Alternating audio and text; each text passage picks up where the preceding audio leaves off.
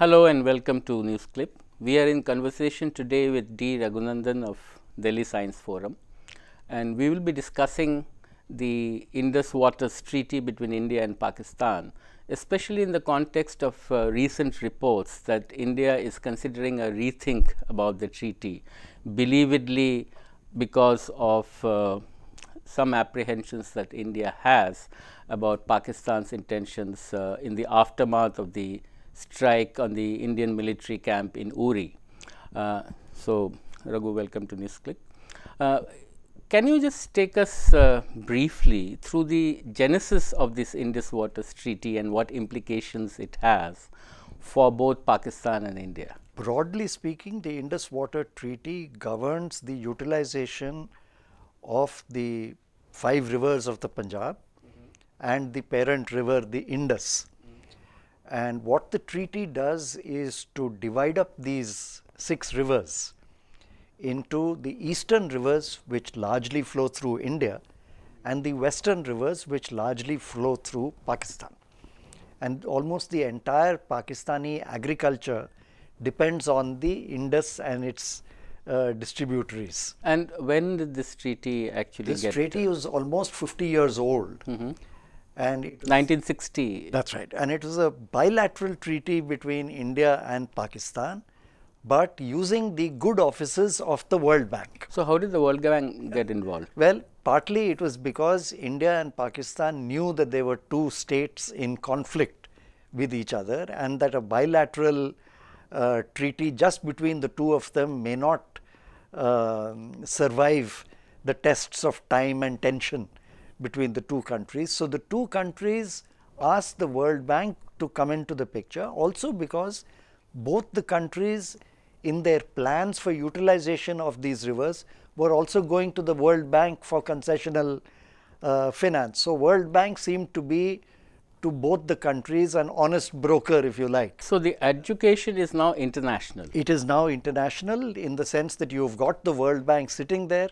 and either of the parties can approach the World Bank if they feel that the terms of the there is a tribunal. Uh, there is a tribunal and there is a formal treaty between these two uh, countries. And for a long time, it has actually been held that despite the obvious tensions between these two countries, which run through the year uh, and has been running through for the past 50 years, in fact, ever since independence, but the Indus Water Treaty has survived armed conflicts, two wars. Despite them, the Indus Water Treaty has continued. Both the countries have abided by it. And recently, when Pakistan felt uh, over the Kishanganga barrage that India was violating the treaty, it took India to the Arbitration Council, which finally ruled in favor of India. So, both the countries so far have been going along with the terms of the treaty and have been behaving well. Is it correct to uh, say that uh, actually Pakistan is uh, more dependent on the treaty being governed properly uh, than India because as you were saying earlier that agriculture in Pakistan is largely dependent on these rivers. And the second and most important reason is that all these rivers uh, flow through India before they enter Pakistan uh, as far as the western rivers are concerned. But the eastern rivers are entirely flowing through India except for parts of their origin in Tibet.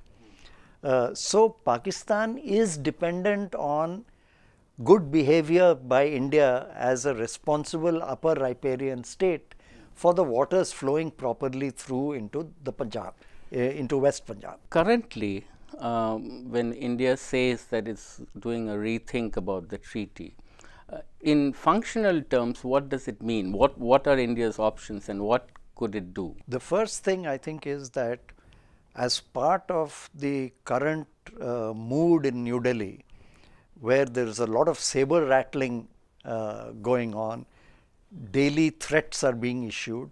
This threat of abrogating the Indus Water Treaty is one of these threats being thrown. Now, that's easier said than done, and that's what I think very few people realize that it's not just India opting out of uh, the treaty, because this is a regular international treaty signed into law by both the countries. And even if India wants to abrogate the treaty, it has to go through a process of notifying that it wants to do it, bringing the World Bank into the picture. Automatically, this internationalizes the situation. It's not just a bilateral thing, and even more, it cannot be done unilaterally by India uh, at the stroke of a pen. So that's first thing that I think has to be realized about this. Uh, the next step that is being uh, proposed by India is uh, to fiddle with the allocation of waters of the western rivers which flow into uh, Pakistan.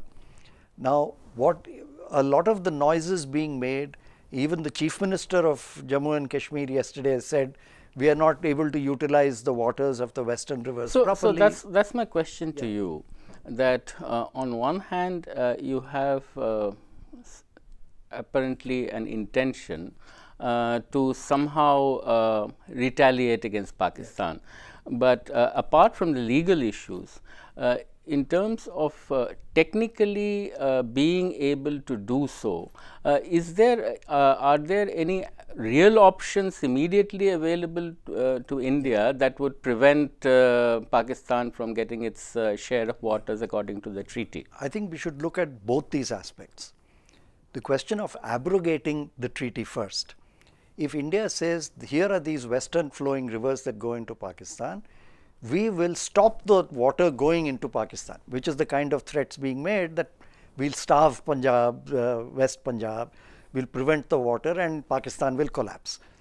Technically, that is not feasible. You can't stop a river flowing. That's what I'm asking. Stop, so, what, what, what can India do? Exactly. So, if you want to stop the western flowing rivers, you have to create huge amount of infrastructure to be able to utilize those waters in India. Currently, if you stop the waters, you will flood uh, part of your own most land. of Jammu and Punjab.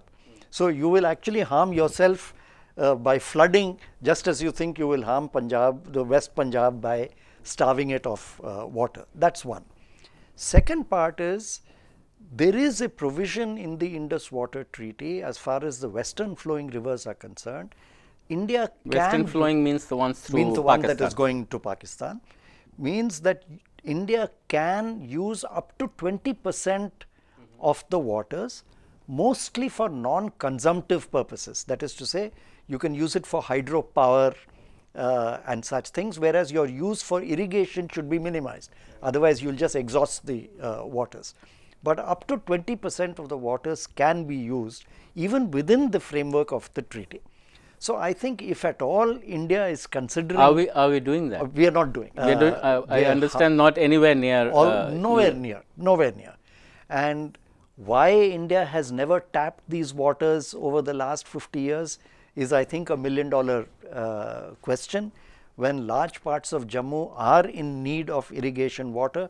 But I think answers for this must be looked at in terms of the lack of development of the whole state of Jammu and Kashmir since independence. And it's not just in river waters that development has not taken place. Development has not taken place in railways, in infrastructure, in roads and so on. And this is one more area where India has not invested in the development of Jammu and Kashmir to the extent it should. So, so do you think this is an empty threat? The abrogation of the River Waters Treaty, I think, is an empty threat. So, uh, isn't waters. it uh, a bit curious that while within the country disputes between riparian states uh, keep flaring up, but for 66, uh, about, how much, about 56 years, uh, between India and Pakistan, we don't seem to have had that kind of a dispute. Precisely my point is that this has been the strength of the Indus Water Treaty precisely because there is a codified arrangement between two countries which govern the utilization of these rivers.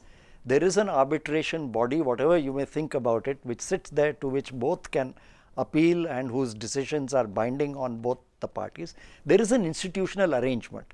Unfortunately, within the country, India has so far not come to any solid institutional arrangements which guide interstate disputes on river waters and that is why we are still floundering with it. So, I would think in fact that we should be copying measures institutionalized in the Indus Water Treaty using those to govern domestic interstate uh, relations governing river waters rather than talking of abrogating Indus water treaties, which I think have stood the test of time. Thank you. Thank you, Raghu, for talking to us.